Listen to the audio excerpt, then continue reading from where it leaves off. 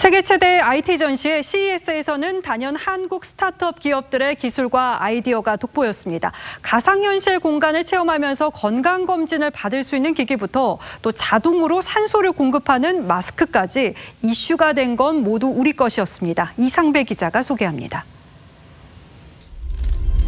마치 우주 속을 날아다니는 듯한 새 한 마리.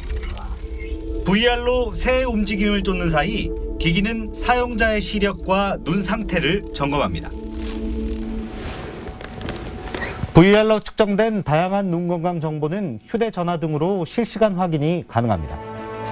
CES에서 건강 웰빙 분야 최고 혁신상을 받았습니다. 센서를 통해 외부 공기를 분석하고 필터를 통해 신선한 공기를 공급해주는 마스크도 있습니다. 일상생활에서도 숲속의 산소를 느끼면 좋지 않을까라고 생각한 끝에 이 아이디어를 제안하게 됐습니다.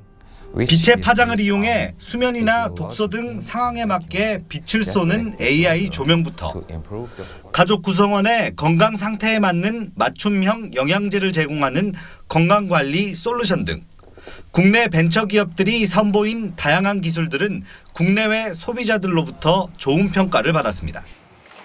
실제 CES 2021 운영위가 혁신적인 기술과 아이디어를 인정한 혁신상 제품은 280여 개인데 우리 중소벤처기업 20곳이 이름을 올렸습니다.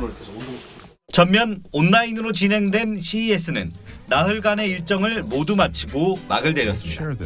TV조선 이상배입니다.